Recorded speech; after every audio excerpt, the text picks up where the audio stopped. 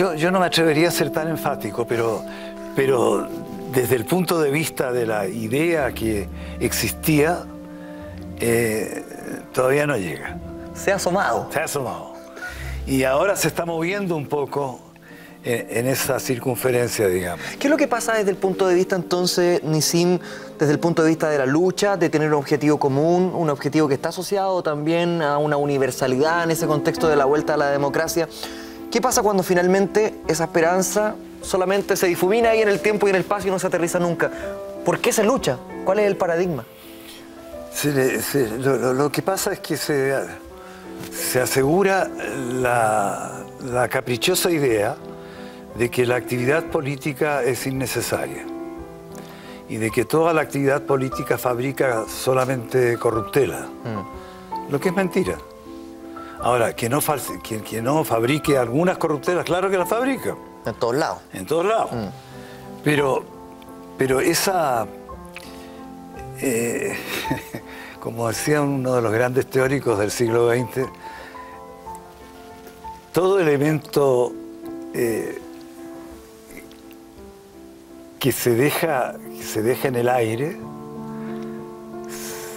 se, se difumina, se, se- Se disgrega. se disgrega. Y, esa, esa forma de, e- esa forma de, disgregarse no está definida hacia ningún lado. No está definida ni hacia el lado de la, de la verdad, ni hacia el lado de, que vamos a seguir con esperanzas frustradas, etcétera, etcétera. No, yo no creo en ese tipo de, de. Pero usted se sintió en algún momento así en el, en el, no sé, lo trato de contextualizar, en el 90, 91, cuando finalmente se termina la dictadura, usted venía en una lucha porque se terminara esa dictadura Así y se encuentra con esta alegría que no viene, que es una esperanza, que se asoma intempestivamente. Yo le voy a decir lo que me pasó a mí en esa oportunidad. Cuando se asomó la alegría, yo me asomé con ella, por supuesto. Estuve tanto tiempo tratando de que se asomara la alegría. Y me acuerdo que fuimos a celebrar el término de la dictadura al parque, al parque, no sé cómo se llama ahora, en mi época se llamaba el parque japonés. Y yo manejaba un vehículo en que llevaba el brazo izquierdo apoyado en el, en el, en el vidrio, digamos, con el vidrio abajo. Y, y de repente me robaron el reloj. Me robaron el reloj, pasó un gallo, me tiró el reloj y me lo robó nomás. Entonces la alegría llegó, pero con la alegría llegó el ladrón del reloj también. Ah, y eso, y eso es así. Con la misma alegría. Con la misma alegría y además se rió a gritos de mí.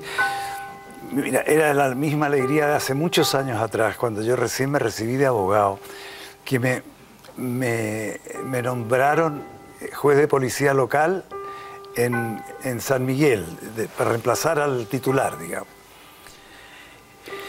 Y uno de los casos que me tocó, no bien, no bien asumí, fue el de dos mujeres que venían peleando con, con un hombre y que se insultaban, pero ya a todo chancho. Entonces yo traté de revestir de, la dignidad del juez y le dije, yo no los voy a sancionar si ustedes se comprometen a resolver civilizadamente este asunto sin más garabatos ni nada. Entonces sí, Usía, como no, Usía. No habían atravesado la puerta de salida cuando de repente por la ventana del despacho del juez de policía local me empezaron a hacer gestos obscenos terribles. Entonces yo llamé al secretario y le dije, secretario, haga- deténgamelos y que los metan presos. Entonces el secretario salió y al poco rato llegó y me dijo, no los pude detener magistrado porque no había carabineros de servicio. Entonces digo, oye, pero ¿cómo, ¿cómo lo va a dejar? Y los tipos me hacían cosas así y gestos terribles de afuera y yo no pude hacer nada. Entonces, si, si eso no es absurdo, es, es decir, y, y este país está lleno de esas de esa monserga, lleno, pero lleno. Nisim, usted decía que quizá una de las situaciones más absurdas era la misma dictadura. Eh, en, ese, en ese sentido, estar haciendo teatro, y no solo teatro, teatro de vanguardia Mm. muchas veces, ¿cómo se podía aplicar? ¿Había un susto permanente por parte de ustedes en el ictus? Totalmente, ¿Sí? Totalmente. Vivíamos aterrados. Pero, pero ese mismo miedo nos incentivaba a no doblar la oreja.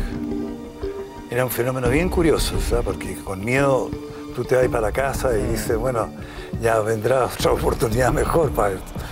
Pero, pero la verdad es que, es que no, es que eh, parece que eso incentivó nuestro sentido épico. De repente uno, uno, uno se creyó Don Quijote que, que peleaba contra los molinos del viento, ¿no? Y, y fue así, ¿no? Y no, no doblamos la oreja, ¿no? Ahora, ustedes lo hicieron de una manera sumamente inteligente, porque igual muchas veces ustedes mostraron una obra primero a periodistas que estaban en esa época con, con Pinochet y les daban el visto bueno y decían, está muy buena esta obra No, en no, no, particular. Una vez pasó eso. Ah, ya. Una vez. ¿Cómo fue eso? Eso fue porque nos, dio miedo de repente estrenar sin una previa consulta de gente que nos dijera, oye, tienes que cortarle tal pedazo, tal cosa. Y, vinieron periodistas de, todo, de, toda, eh, de toda figuración política, digamos, eh, y cuando vieron el ensayo general que les dimos, eh, nos dijeron no corten nada, no corten nada, nosotros los vamos a defender, no corten nada, porque era una obra que se llamaba Pedro, Juan y Diego, que hicimos con David Benamente, y, la creación colectiva del resto del equipo, en que, en que se trataba de, tres individuos que tenían que sufrir los, eh, eh, digamos, lo- los sacrificios y las humillaciones del trabajo eh, mínimo, digamos. Y, y la verdad es que, así como se dice que, que el, que el Corán es un, es un trabajo absolutamente árabe porque no menciona nunca un camello, nosotros no mencionamos nunca la dictadura en esa obra, pero estaba presente. Pero hacía alusión directa Pero en todo el momento. Claro. Pero, pero la dictadura no existía como, como expresión. Y, y así fue eh, progresando la, la- la forma de, de- de trabajar y de encontrarnos con, con un humor que a veces era muy cruel, pero que servía mucho